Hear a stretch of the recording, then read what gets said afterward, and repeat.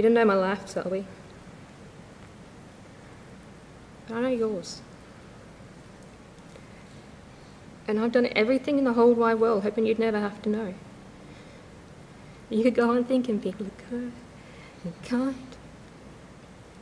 And that should make sense, you know. Because I love that about you. But I can't.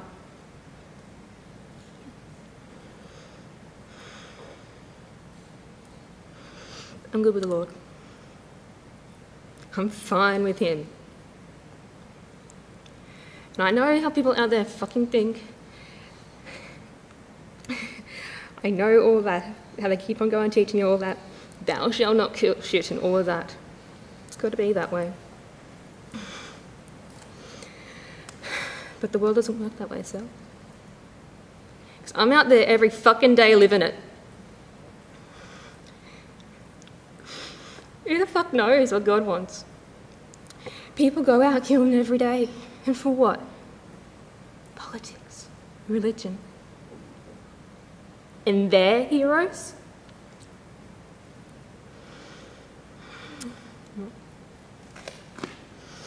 There's a lot of things I can't do anymore, but killing ain't one of them. And letting those fucking bastards go out and rape someone else isn't either.